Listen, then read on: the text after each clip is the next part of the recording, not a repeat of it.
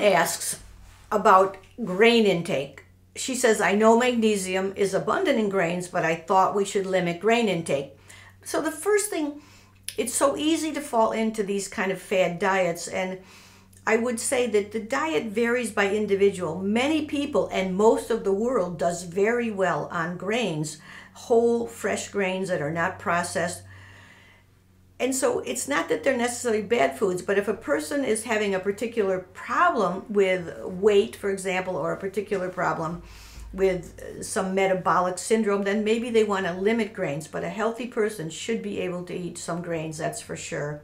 So I guess you have to think of it individually, but I certainly eat grains and uh, many civilizations, the the rise of civilization was based on grains because it provided so many nutrients uh, at so little cost of, of, of, of animal life. So if you, but if you say, look, I really have to avoid grains, I feel better off grains, I have less inflammation, whatever.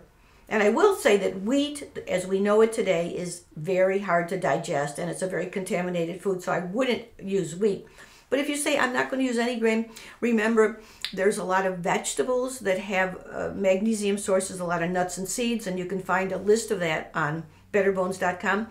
And also remember that using our pH test kit to measure your first morning urine is going to tell you if you have enough magnesium because magnesium largely influences the pH. So you might get the alkaline diet starter kit with the pH test kit. There are other sources of magnesium, and of course, there's wonderful supplemental magnesium, like we have the ionized magnesium at Alkaline for Life. Okay, I hope this was helpful. And if you want your questions answered and more, if you want to develop your own personal Better Bones, Better Body program, join us September 23rd to 26th. No longer do people have to be my individual clients to learn everything I know. We're going to teach you that in the retreat September 23rd to 26th. I hope you will join us.